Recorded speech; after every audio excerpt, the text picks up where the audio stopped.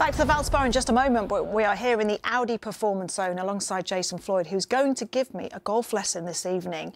Very excited about this, Jason. We're going to use the force plate uh, technology, and I definitely feel like I've been hitting it left and losing a bit of distance. So I'm hoping you can look at the technology and work out what I'm doing wrong. Absolutely. Well, let's see you hit a shot on the plates first. Let's Okay. capture a, a swing. So as nor- so as I would swing normally, Yes. you're just going to have a look, analyse, and see where I'm going wrong.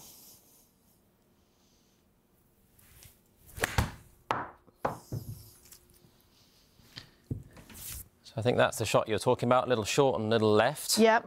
So let's take a look using the Audi Performance Zone technology. Let's have a look at your swing. Um, so we're going to pay attention actually to very much the direction of force. Um, so what we're going to see very early in your downswing is that you, you effectively jump, you use your vertical forces too early. Um, and that in turn will close the club face. And because obviously you've jumped too early, you've spent that force and energy too early. Okay. And that's really because your lead foot is too square. Okay, we want to flare your lead foot out, a bit more sort of like Alexander Noren. And we're going to just drop your right foot back. All right, so leading, leading foot flare a little bit more now this way, and then that will get you now to get the timing spot on. Perfect. Love right. that. So quite simple, and you're just looking. You're looking at my force. You're looking at the data. You're looking at the dashboard, and two little simple changes hopefully will make a big difference. Yep, So left foot flared, right foot back. back, that's it. Okay. And now you can just release the club fully, a little bit more lead foot flare, that's great. Right there. Yeah, great. Wow, look at that. So that felt a much better strike. Yeah, that, so that's now far higher, far straighter.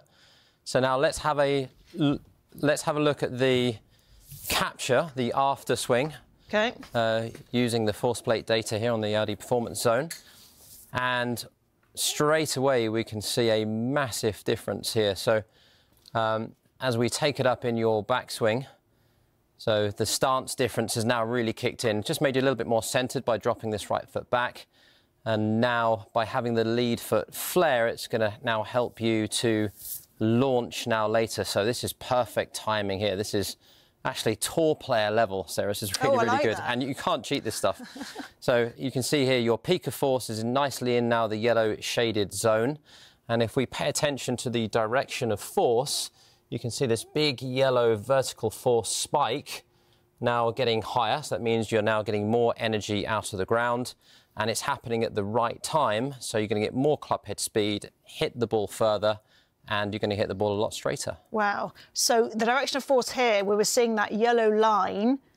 That was becoming, that was happening much earlier in my backswing. So I was basically creating energy, but at the wrong time in my swing, so I was right. losing Yeah. distance. And it was forcing you to close the club face. So Yeah. anytime a player knows that their club face is closed, they're going to put the brakes on in order to try to hit the ball straight. Whereas now you don't have that problem. The club face is square. You can go ahead and release it and get maximum power. That's fascinating because this is high technology. We're looking at all the data, but you've just literally made two very small adjustments to my golf swing. I think that's the beauty of it. You know, we can't see force. This really allows us to be, it's quite technical from that mm-hmm. side of things. It allows us to see exactly what's happening under the bonnet. But now on the other side of it, you know, we can now make two simple changes and completely change the dynamics of your golf swing. I love that as well because it's, it's simplistic, it's easy to adapt, Yep. easy to adopt, Yep. and the changes are instant. Yep, very much so. Fantastic. Thank you very much. Pleasure. I'll continue to have another lesson. and uh, for you viewers at home, we'll head back to the Valspar.